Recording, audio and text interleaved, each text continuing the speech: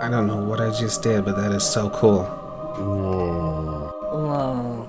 Whoa. Do you see the biggest trade ever, or do you want to see the worst trade ever? Yeah, it's the Shop King. Yeah, it's Shopking time. Hey, what's going on, everybody? Shopking in the house. So, uh, something kind of crazy, Crazy? just happened to me. I was over on my spare account, Crazy. okay, and I put a headdress on, and then I put the white sheep cloak on. This one. So I put the headdress on, I put the sheep cloak on, and then they glitched. Glitched. Glitched. and it was so cool. I've never seen. You guys probably when you when you saw the picture, you probably thought it was an edit. Like, no, that that's not real. It, 'cause it was like a Jamaaliday sheep cloak, and then the headdress was red and black. It was so cool. Oh, oh, so I'm gonna show you that. But before we get into that, I need you guys to vote on something. One thing that I never do is I never show my trades, I never show my items, stuff like that. Never.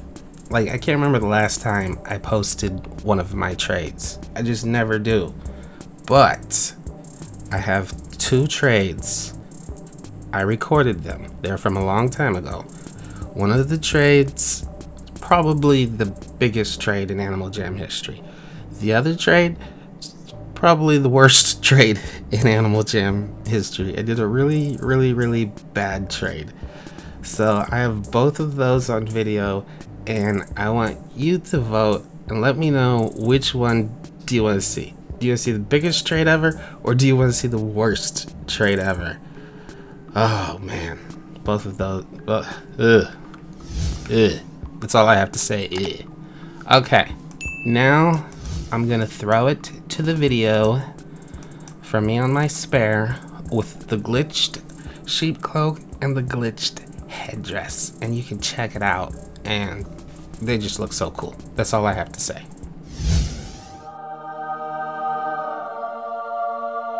I don't know what I just did, but that is so cool. Holy cow. That's crazy. What? I'm scared to move. I don't want it to go away. oh my gosh. Whoa. this is so cool. What? First of all, they need to put out sheep cloaks in every color. Like now that we see one in green. I mean, come on, please, please. Uh, but what color? I guess this would be called the red headdress because usually the color of the headdress is um, on the tips, like light pink, dark pink, the blue headdress, the magenta headdress. I I don't want it to go away. I don't want it to go away. I never want to log off. So anyway, you see the um, Jamaaliday stuff I'm wearing right there? So I had this Jamaaliday stuff on, right? And then I put on a headdress and a sheep cloak, right? And then I clicked away and I looked normal. And then I opened it up again. And when I opened it up again, it wasn't showing that I was wearing the headdress and the cloak. It was showing that I was wearing the Jamaaliday stuff.